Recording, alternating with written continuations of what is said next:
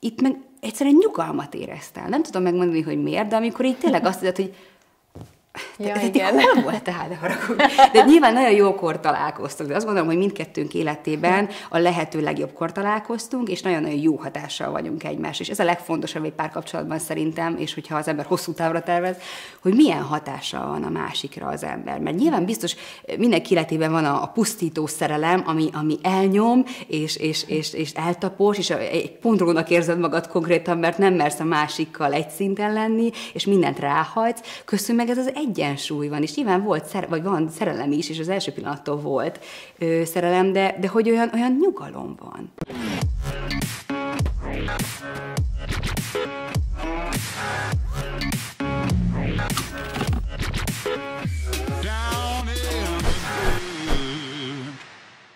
Mennyire esett jól visszavenni a tempóból, miután megszületett a kisfiad, illetőleg nem is visszavenni a tempóból, mert nyilván az, az, az úgy ösztönösen jön. Mennyire volt könnyű megszokni, hogy most csak ez az egy feladatod van? Hát tulajdonképpen én 36. hétig dolgoztam, terhességem 36. Uh-huh. hetéig dolgoztam, és egy kicsit jól esett hazaérni, és azt mondani, uh-huh. akkor becsukni magam mögött az ajtót, és tényleg azzal foglalkozni, hogy édesanyja leszek. Nyilván előtte is igyekeztem ráhangolódni, de úgy, hogy az ember non-stop dolgozik, már pedig én pont egy olyan szakaszból jöttem ki, hogy, hogy műsorok, jobbarozban forgatás, fellépések, és 14 órákat is dolgoztam egy nap. És amikor ugye véget ért ez a, ez a hajtósabb időszak, mm. és becsuktam magam mögött az ajtót, akkor kezdődött azt, hogy elkezdtem a hűtőt nyitogatni, és így voltam, hogy én bármit tehetek, hát terhes vagyok, hát fel is szaladt egyébként gyönyörűen 20, 20 kilóig mértem, úgyhogy onnantól kezdve elengedtem. Ez utolsó hetekben kezdett ez így megműlni? Igen, Azt a... igen, igen. És jól esett. Tehát tényleg az azt megelőző éveket, ha nézem, négy-öt évről beszélek, nagyon-nagyon sokat dolgoztam. És egy kicsit úgy, úgy jó leső érzés volt. De nyilván teli voltam félelmekkel is, hogy hogyan tudok én majd visszarázódni, hogyan, hogyan tudok én majd esetlegesen, de ez, ez egyébként négy hónapos volt benni, amikor ezen elkezdtem már gondolkodni, mert addig tényleg arról szólt minden napon, hogy hogyan tartsam életben a gyermeket. Igen. Tehát, hogy elkezdtem ezen aggódni. És utána, amikor már így érezted annak a, annak a szükségét, hogy csinálnál is valamit mellette, akkor mi volt az első, ami után nyúltál, ami a legjobban hiányzott esetleg a baba mellett? Hát igazából, ha így visszagondolok, szerintem négy és fél hónapos volt a Benny, amikor, amikor először elkezdtem a FEM 3-ban műsort vezetni, uh-huh. pontosabban visszamentem, és az az időszak volt, ami, tehát húztam és toltam, és hívtak korábban, korábban, és mondtam, hogy nem, nem, még egy hónapot, még egy hónapot, uh-huh. még egy hónapot, mert élveztem egyébként az otthon létet, és talán még lehet, hogy korán is mentem vissza, így utólag azt mondom, mert agyban nagyon-nagyon éreztem, mikor ott ültem az adásban, hogy a másik felem otthon van, és Igen. folyamatosan azon agyaltam, hogy vajon mit csinálhat, de egyébként aludt nagy részében ennek a időintervallumnak a nagy részében szerencsére. Ugye ez havi öt napot ö, vett igénybe, és, és tényleg három-négy órát, úgyhogy ö, próbáltam úgy venni, hogy, hogy ez, ez nem egy ö, olyan borzalmas dolog, amit egy anyuka megtehet, de közben meg élveztem azt nagyon, hogy emberek között vagyok újra, elkezd hát, működni a, az agyam, nem csak háromig tudok elszámolni, hanem már ötig. Tehát hogy tényleg azt éreztem, hogy én ilyen szinten szellemileg még soha nem voltam ö, kimerülve, és, és tényleg nem pörgött úgy az agyam, én mindig olyan ember voltam, akinek tik-tik-tik így jöttek a poénok, a gondolatok, és most meg így el kellett gondolkodnom néha a kérdéseket is, amiket feltettem, de most arra talán azt mondom, hogy visszarázódtam. Mondjuk látok némi összefüggést a között, hogy nem alszik a gyereked, és mondjuk a memóriát sérült, tehát hogy van. Erről tudnék mesélni, de hogy de valószínűleg ez inkább ezért volt, ne, nem a monotonitás miatt, nem? Nagyon, nagyon Szerintem nehezek is. voltak az éjszakák. Hát az első nyolc hét az tényleg ugye arról szól, hogy etetünk, altatunk, Igen. etetünk, altatunk. Ott igazából úgy voltam az első pár hétben, hogy hát ez tök jól megy, jöttek az anyai ösztönök is egyből. Nyilván ettől is tartottam az első időszakban, hogy én tudni fogom-e, hogy ő mikor álmos, mikor alszik, és szerencsére így tök jól működött minden. De, de igen, eljött az időszak, hogy átaludt két hónapos korától egy hónapot, egy éjszakát, igaz, átaludtam uh-huh. már mhm. az éjszakát egy hónapon keresztül, másfél hónapon keresztül, és akkor azt mondtam, hogy úristen, hát ez egy megváltás, hogy fantasztikus, hát van élet, újra tudok mosolyogni, és, és tehát így uh-huh. megkönnyebbül az ember ilyen szempontból, majd elkezdett jönni a foga, és minden felborult. És uh-huh. akkor éjszakánként ugye ez a három-négyszeri ébredés és kerés volt, és Igen, tehát megviselt, és most megint abban a fázisban vagyok, hogy, hogy most megint rosszul alszik, és megint azt érzem, hogy nagyon kimerült vagyok. És ez így hullámzik, és nyilván valami isteni sugallatnak köszönhetően, köszönhetően az ember ezt így átvészeli, és, és azt mondja, hogy föl kell, és csinálja tovább. De hogy ez hullámzó, és én hullámzóként, hullámzó időszakként éltem ezt meg, és a legnagyobb félelmem egyébként, amiről is soha nem is olvastam, vagy nem is hallottam, volt ez a baby blues állapot, ugye a kórházban, ez általában a szülés harmadik nap szokott bekövetkezni az anyukáknál, hogy amikor így elönt egy olyan érzelmi hullám, hogy nem tudom megmagyarázni, hogy miért sírok, de, de zokogtam, tehát a páromat elengedtem menjen tejfakasztóra, és egyedül maradtam a kórházban, és és mondtam, hogy nekem nem kell segítség, ne jöjjön senki, én most egyedül szeretnék lenni. És ahogy kilépett, onnantól kezdve szerintem tíz órán keresztül zokogtam. És nem tudtam megmagyarázni, most nyilván a félelem, az Aha. aggódás, hogy jól csinálom-e, jól fogom-e csinálni, mindjárt hazamegyünk, ugye a rákövetkező napra mentünk haza, és teli voltam félelemmel és aggodalommal. És egyébként erről nagyon sokáig nem tudtam, amíg nem kezdtem el utána olvasni, hogy milyen érzelmi szakaszokon megy át egy, egy nő szülés után. És te mindegyiket akkor produkáltad?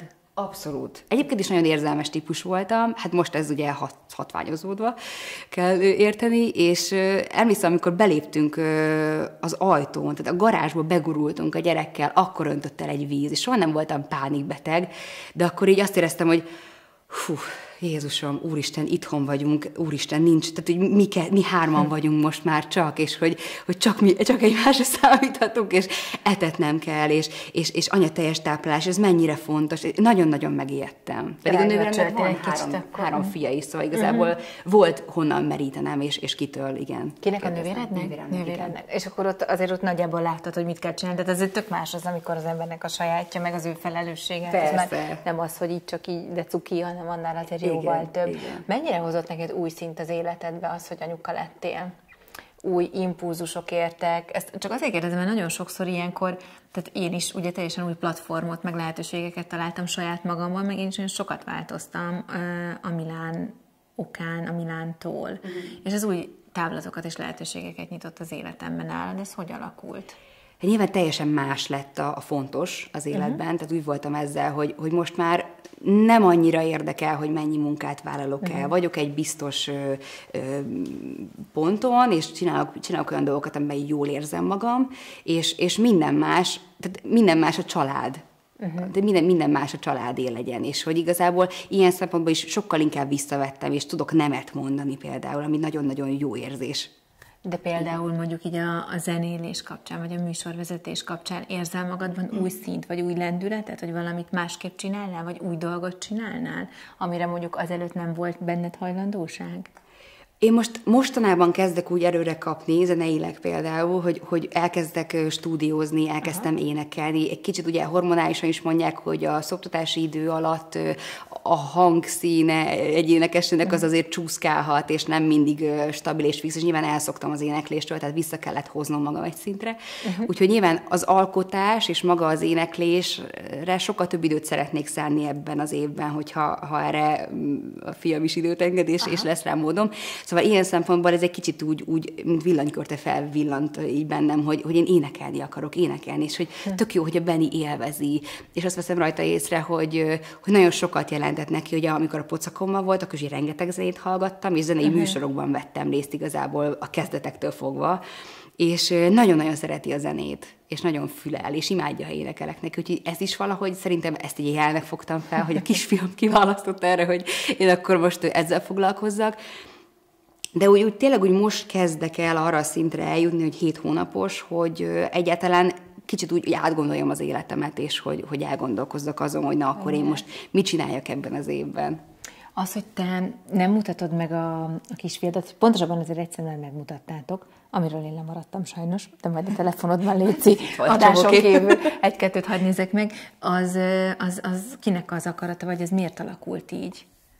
Igazából ez a párom kérése volt, uh-huh. illetve utána ezt így megbeszéltük és elbeszéltük, és akkor közösen arra a döntésre jutottunk, hogy nem szeretnénk őt folyamatosan kitenni a média figyelmének.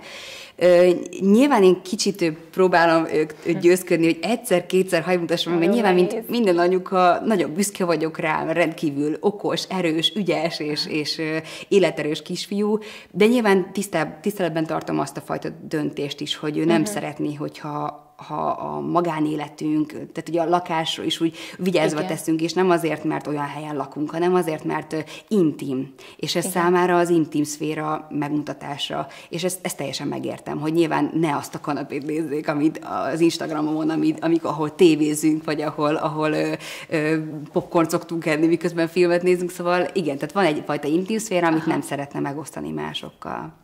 És ebben te nagyon könnyen bele tudtál simulni, mert ez azért nehéz sokszor, mert ugye a másik oldalról meg állandóan jön a kérés, meg a feltételezés, hogy valamit azért nem mutatsz meg, mert biztos van valamit akargatni való. Persze. Biztos nincs is férjed?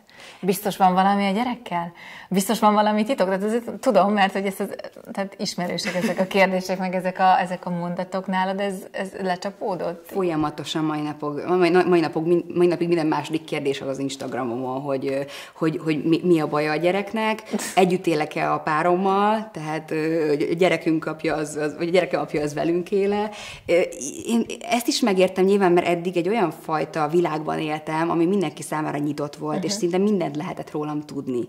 Viszont bekerült az életembe a párom, és, és, és neki pedig az volt a kérés, hogy ő nem szeretne annyira szerepelni, ő, uh-huh. ő, ő egy másik világot él, ő nem szeretné, pedig egy gyönyörű ember, tehát ez a másik, hogy tényleg gyönyörű, gyönyörű családom van, de tisztelve tartom azt, hogy, hogy uh-huh. ők nem szeretnének szerepelni, hát a gyerek az pedig majd eldönti később, hogy, hogy jönni akar anyával a stúdióba, már pedig biztos, hogy jönni akar majd szétnézni, hogy, vagy, vagy koncertekre Persze. ellátogatni. De ezt meghagyom neki, hogyha már felnőtt lesz. De ez tényleg mennyire izgalmas, amikor két ennyire különböző típusú ember kerül össze. Egy közszereplő, akinek lételeme a színpad, a magából adás, meg egy olyan, aki egy teljesen másik területen és, él, mozog és sikeres, és igen. közben meg mégis És az érdekes, hogy nekem pont emiatt lett ő tökéletes kapocs és uh-huh. társ, és pont emiatt egészítjük ki úgy egymást, ahogy eddig senkivel és, és te, de nagyon-nagyon hálás vagyok neki, és rengeteget köszönhetek neki, mert nyilván én azért az én életmódom, az én szakmámat tekintve azért ez nem egy egyszerű dolog elfogadni egy olyan embernek, aki mondjuk hm. irodában dolgozik, most ezt így mondom, inkább nem, nem akarom azt mondani, hogy civil szakmát végez, hanem irodában dolgozik, és teljesen más, és nagyon-nagyon megértő volt, és, és soha nem volt ebből közöttünk konfliktus, úgyhogy hm. azt gondolom, hogy én nekem is érdekes, amit ő csinál, tehát abszolút lenyűgöz a, az a, a, a szakma, az a műfaj, amit ő csinál, tehát szeretek így belelátni, és lenyűgöz az, hogy ilyen sikereket ér el, illetve őt is lenyűgözi az én világom, és ez valahol ez a kettő tudott találkozni, és Egyébként tök jó. Téged hogyan formált az, hogy hogy a párod egy teljesen másik világból jövő ember? Nekem előtte egyébként nagyon-nagyon sokáig ismert, tehát hogy zenészek, Igen. tehát hogy abszolút szakmabeliekkel volt dolgom, és mindig volt valami konfliktus, tehát hogy vagy, vagy zenei téren nem egyeztünk, és nem tudtunk együtt dolgozni, tehát hogy folyamatosan volt valami, ami, ami azt, azt eredményezte, hogy szétmentünk. És uh, itt meg egyszerűen nyugalmat éreztem. Nem tudom megmondani, hogy miért, de amikor így tényleg azt mondod, hogy Ja, te, igen. hol voltál, de haragudj. De nyilván nagyon jókor találkoztunk, de azt gondolom, hogy mindkettőnk életében a lehető legjobbkor találkoztunk, és nagyon-nagyon jó hatással vagyunk egymás. És ez a legfontosabb egy párkapcsolatban szerintem, és hogyha az ember hosszú távra tervez, hogy milyen hatással van a másikra az ember. Mert nyilván biztos mindenki életében van a, a pusztító szerelem, ami, ami elnyom, és, és, és, és eltapos, és egy pontrónak érzed magad konkrétan, mert nem mersz a másikkal egy szinten lenni, és mindent ráhajtsz. Köszönöm meg ez az egy egyensúly van, és nyilván volt, szer- vagy van szerelem is, és az első pillanattól volt ö, szerelem, de, de hogy olyan, olyan nyugalom van. Azt érzem, hogy olyan kiegyensúlyozott vagyok, hátra tudok dőlni, nem kell stresszelni, tehát hogy, hogy minden olyan fantasztikusan működik, és hogy adja magát. De jó ezt hallani, hogy így megvan így az egység, meg a szövetség, ez azért egy szuper dolog. Adri, szeretném, hogyha gyors kérdésekkel folytatnánk tovább, mert az még nagyon sok mindent ki fog belőled hozni. Ami gyorsan rögtön eszedbe jut, azt, azt mond. Melyik az az étel, amiből bármennyit és bármikor képes vagy megenni? Paradicsomleves. Mi a legkedvesebb gyerekkori emléked? Hú, rengeteget jártam apukámmal horgászni. Mi volt életed legkínosabb szituációja? Egyszer egy koncerten a színpadon a deszkák közé beszorult a cipősarkam, és igazából pont egy refrén, refrénnél tartottam, és nem akartam kizökkenteni magam, úgyhogy nem akartam elkezdeni kihúzgálni a cipőm sarkát, úgyhogy ott maradtam egy helyben, aztán együtt rögtünk a közönséggel. Van olyan ember az életedben, akitől bocsánatot kéne kérned, és ha igen, miért? Fúha, hát biztos, hogy van. De erre gyorsan nem tudok válaszolni. Biztos, hogy van, biztos, hogy van. Melyik az a film, amit szerinted mindenkinek látnia kell? Én Mads Mikkelsen rajongó vagyok, ő egy dán színész, és igazából az ő fémeit, az Ádám Almáit és a Hannibal nevű sorozatot ajánlom mindenkinek. Melyik az a zeneszám, ami mindig mosolyt az arcodra? Hú, hú, hú, George Michael rajongó vagyok, úgyhogy bármi, ami George Michael. Melyik a legszerethetőbb tulajdonságod? Talán azt, hogy megbízható vagyok. És a legidegesítőbb? Türelmetlen. Mi az, amiben a szüleidnek végül igaza lett? Semmiben. nem, nem igaz. Egyébként igazuk van nagyon sok mindenben, de azt a fajta, kicsit ellenezték ezt a fajta életet és életlést uh-huh. és, és ezt a fajta mm, életmódot, amit folytatok, de aztán, aztán végül is beigazolta magát a, a, a, a munkásságom, úgyhogy szerencsére most azt mondhatom, hogy nincs igazatok. De tuti, hogy örültek, amikor kiderült, hogy... Persze, utána már De nem annak, voltak. hogy mondjuk egy, egy civil férfit választottál, vagy iroda, aki irodában dolgozik, egy olyat választottál magad mellett, mert ilyenkor ez szokott lenni a balansz, hogy jó, de legalább, legalább egy normális párja. Igen. igen, kb. Mi az, amire sajnálod az időd? Hú, takarítás, mosogatás, ilyesmi. Fejezd be a mondataimat. A tantárgy, amit a legjobban utáltam. Matematika. Én csak olyanokkal forgatok, akik, de komolyan. Egy Vastag Csaba volt az egyetlen, aki nem a matekot mondta, mert ő matek szakos volt, de még nem, Jézus, nem mondott senki mást. Komolyan, matek tanárok, hé, ugye? Mindenki a matekot mondja. Hát én nem filozófusokkal forgatsz együtt, meg fizikusokkal, szerintem ez lehet, hogy azért van. Mire? Tehát, hogy az, hogy, hogy aki így a művészi pályát választja, vagy nem hát mindegy. Hát ez, de igen, nem erre, nem erre indul el. Csabi, még mindig te vagy itt a kakuktojás. Szóval a legfurább dolog, amit a táskámban találtam, amióta anyuka vagyok, na ezt a kérdést nem tettem fel a Csabinak. Cumi, popsi törlőkendő, igazából mindenféle gyerekes dolog, tehát ami a gyerekkel kapcsolatos játékok. Ha nyernél kaparósors egy ilyen 50 millió forintot, mihez kezdenél vele? Én nagyon régóta szeretnék egy kutyamelhelyet alapítani, és igazából ö, talán egy részét erre, erre szánnám, de nyilván befektetnék, tehát hogy mindenféle olyan dolgot, ami a gyerekemnek fontos lehet így az életében. És végezetül melyik a kedvenc mottód? Hát nem mindegy, hogy de soha ne azt néz, hogy mit mondanak, hanem hogy ki mondja. André, nagyon szépen köszönöm a beszélgetést. Köszönöm én is.